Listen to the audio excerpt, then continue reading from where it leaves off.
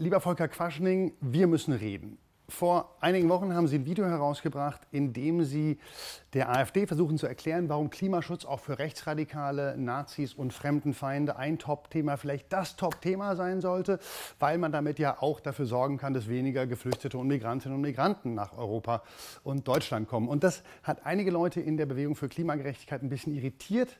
Und deswegen machen wir von der RLS jetzt mal ein kleines Video, um ein oder zwei Sachen zu erklären. Die erste Sache, die wir erklären wollen, by the way, niemand unterstellt, dass Sie jemand sind, der wirklich rechten Klimaschutz betreiben will. Aber Sie sind halt nicht der Erste, der die Idee hatte, Rechtsradikalismus und Klimaschutz zusammenzutun. Die politische Position gibt es schon. Sie mag noch nicht mehrheitsfähig im rechten Feld sein, aber grüner Nationalismus und Ökofaschismus ist genau das, was man in Manifesten von so durchgeknallten Rechtsterroristen wie Anders Breivik, dem El Paso und dem Christchurch-Shooter findet. Andere Geschichte ist die Reaktion der jungen Alternative auf die Europawahl. Als die nämlich merkten, dass ganz viele junge Leute wegen Klimaschutz die Grünen wählen, haben die ihre Parteizentrale angerufen und haben gesagt, Leute, wir müssen mal mehr über Klimaschutz reden. Unter anderem auch, weil man damit gut das Heraushalten von Geflüchteten und Erhöhen, das Erhöhen von Grenzen im Mittelmeer begründen kann.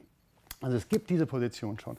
Und darüber jetzt so zu reden, wie Sie das tun, ohne dass Sie das wollen, legitimiert eine völlig inakzeptable politische Position, nämlich dass Klimaschutz nicht dafür da ist, mehr Gerechtigkeit in der Welt zu schaffen, sondern dafür da ist, höhere Grenzen in der Welt zu schaffen.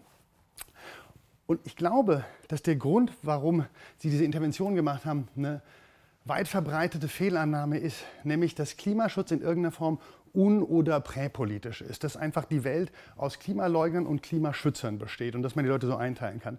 Aber das stimmt eben nicht. Klar, es gibt Klimaleugner.